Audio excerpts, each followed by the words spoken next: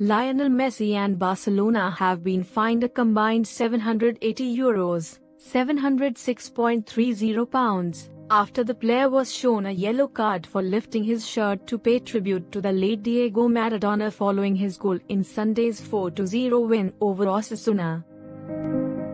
Messi, who was fined 600 euros while his club were fined 180, paid homage to his late compatriot by taking off his Barca shirt to reveal a Newell's Old Boys shirt belonging to Maradona, a gesture that was praised around the world.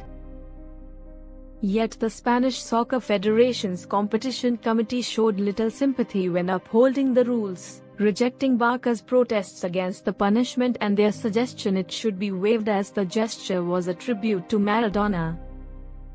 The committee's statement said that while it accepted the gesture was a tribute, Article 93 of the disciplinary code states that a player should be punished for removing their shirt when celebrating, irrespective of the motive. Maradona died last week at the age of 60. News Desk